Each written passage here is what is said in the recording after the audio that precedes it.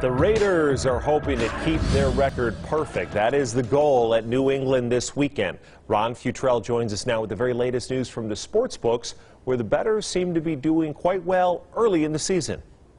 So here we are, week three of the NFL season, and the sports books are having to make a lot of adjustments because of all the injuries in the NFL we always have a lot of injuries over the course of the season, but it's been kind of odd this year. It seems like we're getting them early. I don't know if that's because uh, we didn't have any preseason games and uh, in uh, getting in shape or anything, but uh, it does make it more difficult uh, for us. Uh, obviously, when a quarterback goes out, you know, or a key wide receiver or something, but it does make it difficult. Now, through the first two weeks of the NFL season, the bettors have been winning. Last week, 13 favorites covered the point spread, and bettors like playing favorites. One underdog that won outright was the Raiders on Monday night. This week, the Raiders are underdogs once again at New England.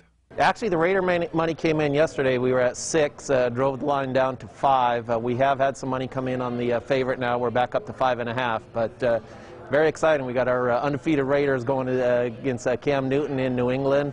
Uh, this atmosphere in the book last Monday was unbelievable. We haven't had a Monday night like that. Uh, the book was full of Raider fans and everything. So there you have it. The Raiders getting set to take on the New England Patriots, trying to keep their record undefeated so far in this young season, and taking on Cam Newton. We'll see how they can do on Sunday.